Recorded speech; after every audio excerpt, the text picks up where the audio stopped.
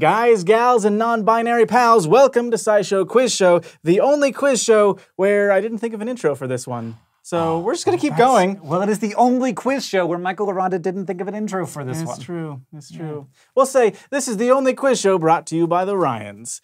I'm Michael Aranda, your host, and our contestants today are Hank Green, owner of a body size that wears medium t shirts. Correct. And over here we have Rachel Calderon Navarro. Yeah, I also wear medium. Oh, okay. I mean, people send me shirts, and they always send me large. And I, I'm, I'm tall, but I'm not broad. Hmm. Put that on. Put that on a shirt, size medium, and put it on your, me. your Twitter bio says that you wear a medium. And yet, people still send me shirts Hmm. that are large, Hmm. including my own mother. Oh. Well, uh, today, Hank, you're competing on behalf of Patreon patron Peter Downing. Hey, Peter. Rachel, you are competing on behalf of Becca Addison. Hi, Becca. Now, you're both going to start out with a thousand points. Each time you answer a question correctly, you will win 200 points. Every time you answer incorrectly, you will lose 100 points. Oh, God, I'm mixing it up. I like it. I like it. I like these rules. Uh, so, whoever has the most points at the end of the game is going to win some sweet prizes for their Patreon patron.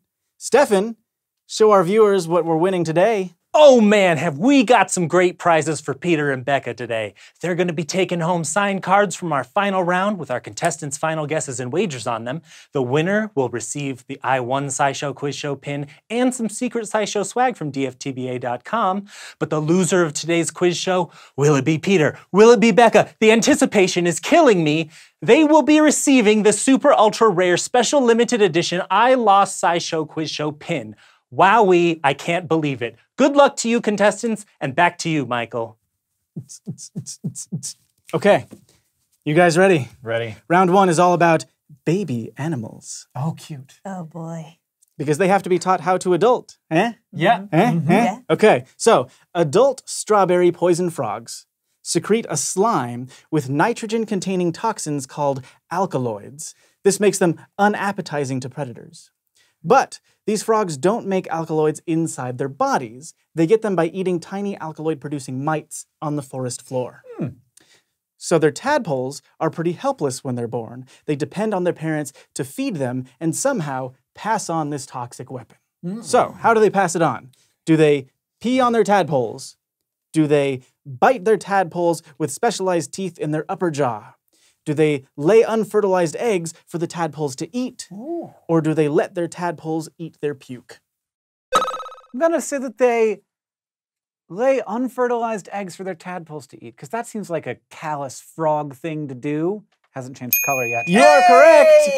The answer is C. The tadpoles eat unfertilized eggs. Strawberry poison frogs are in the genus Oophaga, which comes from the Greek for egg eater and describes the tadpole diet unfertilized eggs laid by their mom. Scientists aren't exactly sure what's happening on a cellular level, but they do know that frogs spike these unfertilized eggs with alkaloids. When strawberry poison frog tadpoles were fed eggs from another species that don't use alkaloids for protection, they didn't have any of these chemicals inside them. So even though the tadpoles aren't born with these toxins, as soon as they're born, they start storing alkaloids in their bodies just like their parents. Congratulations, Hank Green, new owner of 200 new points.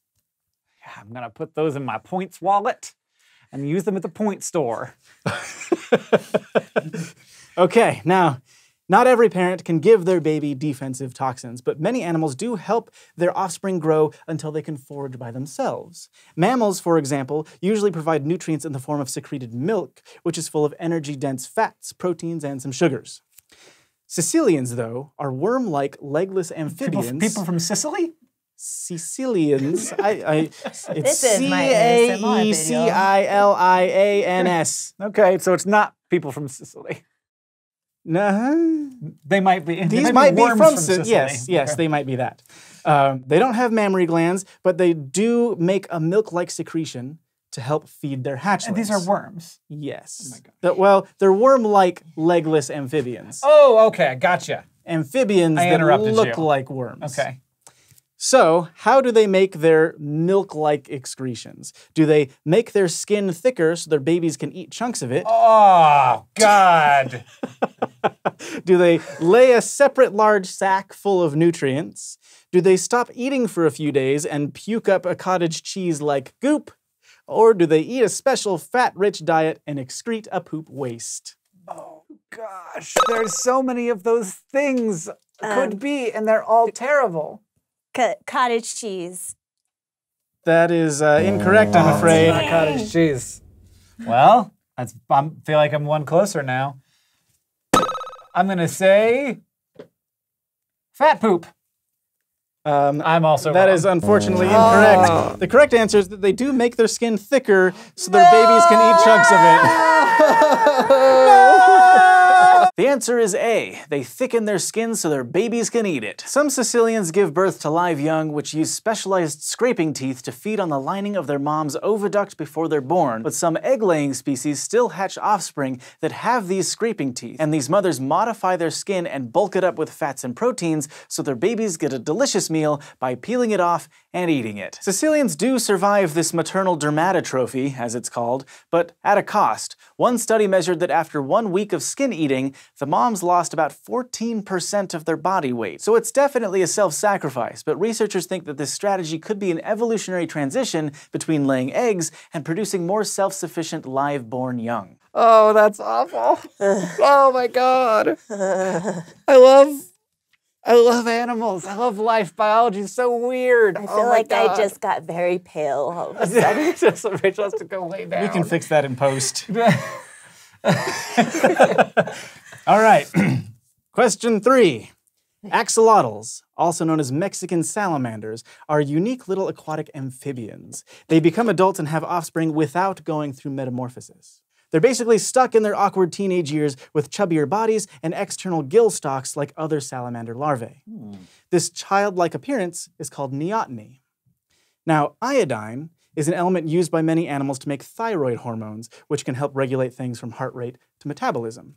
And when scientists add iodine to an axolotl tank, a weird physical change can happen. Does the axolotl reabsorb its external gills and grow lungs? Does it turn black and white? Does it reabsorb its tail? Does it grow longer fang like teeth? It uh, reabsorbs its gills and grows lungs. That's you are correct.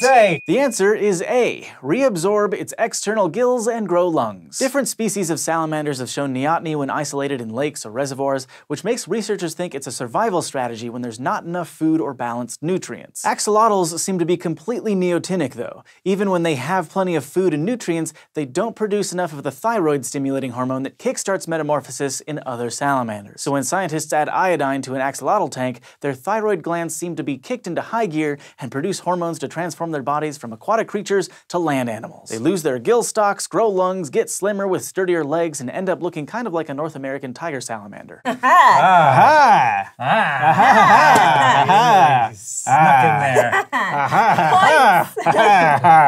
Ah. I think we're tied now. Ah. Yeah, All right. we lost and gained points. Our next round of questions is all about chemical dyes. People have been coloring fabrics with natural dyes from plants and minerals for centuries, but once we got started better understanding chemistry, we started to make synthetic dyes. The first documented synthetic dye was called aniline purple, or mauveine. It's a bright purple color, and it was made by accident by the scientist William Henry Perkin in 1856. He was trying to synthesize a different chemical since it was only extracted from one genus of tree bark at the time, and there was a pretty high demand for the stuff. Hmm. What was the chemical? Was it morphine, a strong pain reliever, quinine, a medication used to treat malaria, caffeine, or cyclosporine, a medication that suppresses the immune system? I was really expecting, I was really expecting a certain thing that you didn't say. So Um, I guess I'll just hit the thing, but I don't remember any of the things because I was certain that I knew the answer that clearly is not correct. I thought it was going to be aspirin, but what is it? You tell me! No, no, no, don't. I didn't say that. What, your the- your are options the- are morphine, quinine, caffeine, cyclosporine. I'm to go with quinine. You are correct. Okay. Cool. Congratulations. The answer is B. Quinine. Perkin was trying to synthesize quinine, the main anti-malarial drug at the time. We think quinine messes with how the malaria parasite interacts with hemoglobin, the main proteins in our red blood cells. He started with aniline, which is an organic compound that was often extracted from coal tar. After some chemical reactions, he ended up with a vivid purple dye that he called mauveine instead of quinine. It was the first of many synthetic aniline dyes, and chemists started experimenting to produce all sorts of colors. But aniline is pretty toxic, and people who wore clothing that was colored with these dyes sometimes had health problems. So we started phasing them out for safer alternatives. That seemed like the kind of thing that would be in a tree bark. Yeah. Bitter. Now, humans also like changing hair color with dyes. You can use things like bleach, also known as sodium hypochlorite, to break some chemical bonds and break up the melanin pigment in your hair so that it lightens the color. And then you can add different chemical pigments that bind to the proteins in your hair cortex to give you a new look. Around the 16th and 17th century, fashionable ladies sometimes used what was called oil of vitriol to lighten dark hair to be a more reddish brown. But it also wasn't the best thing health wise and could make your hair fall out or irritate your skin. What was oil of vitriol? That's I don't know. It's a great name though. Oil of vitriol. Oh, it's good. It's like you just got real mad at somebody and then collected it. What? yeah, yeah, yeah. Just like here's my anger. I've I've scraped it off with a squeegee and put it into this bottle. Now put it in your hair, Victorian woman. Because you'll lose it. Was it hydrogen peroxide, fermented leeches, Ooh. beechwood ash mixed with goat fat, or sulfuric acid? Ow! Sorry. You have a really hard finger. Ah, Thank you. I've been working on it. but you were first. So. Well, I'm gonna, I was going to say hydrogen peroxide. That is incorrect, It's I'm not afraid. an oil. It's not even close to an oil. What was I thinking? I don't know. Um, what was the last one? Uh, well, th- your options are now fermented leeches, beechwood ash mixed with goat fat, or sulfuric acid. Um, sulf- sulfuric acid. That is correct. Oh, that's not an oil either. Mm, no, but it is the oil of vitriol.